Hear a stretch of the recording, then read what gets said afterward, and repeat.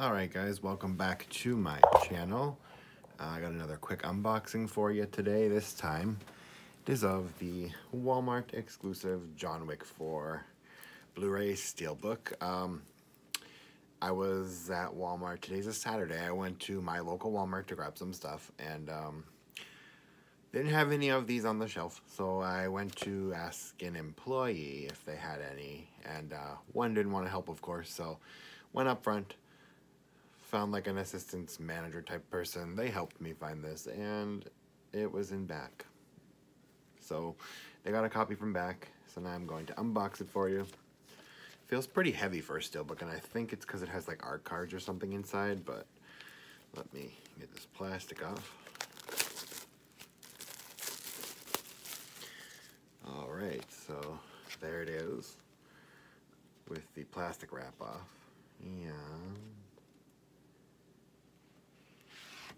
oh, that's nice. Here it is with the slip cover off. And that is really nice. I like this artwork. I like how it looks like a painting of some sort. It looks really nice. I like that a lot. There's the back of him walking through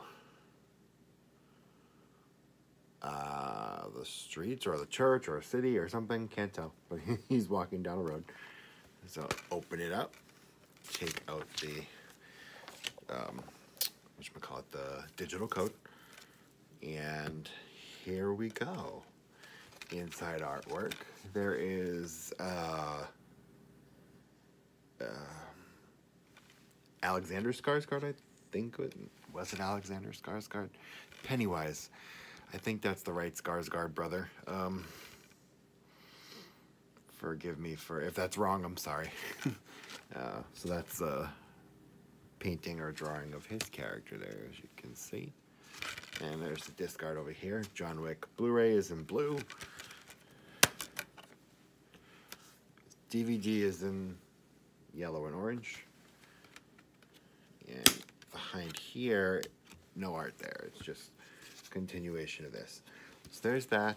Really nice steelbook. Uh, can't really decide which one I like better, the Best Buy one or this one. Like them both a lot. Um, if this was 4K, I would like this one better. But, I mean, here's the art cards. I'm going to... Character art cards. Again, they look like they were the painting style of the art of the steelbook itself. Uh, excuse me while I fumble to open this. There we go. All right, plastic off of those. These are double-sided, I believe. So here's John Wick. Um, Donnie Yen's character, really nice. Skarsgård again. Back is here.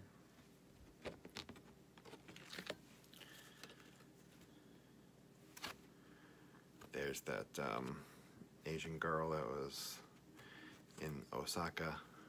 I forget her character's name. There's that. I forget this guy's name. It was uh random honestly, it was just like a random dude. It should have been Halle Berry. When I saw this dog, I thought it was going to be Halle Berry. I really wanted Halle Berry to reprise her role from chapter 3, but we got this random guy and his dog, so, I mean, he's alright. Dog was cool. There's the kingpin looking guy.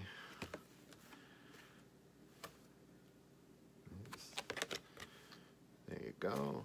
And last but not least, that one and that one. So yeah, these are really nice sets of art cards. I really like them. It's a nice little addition there to the steelbook. So once again, we'll show it off front, back,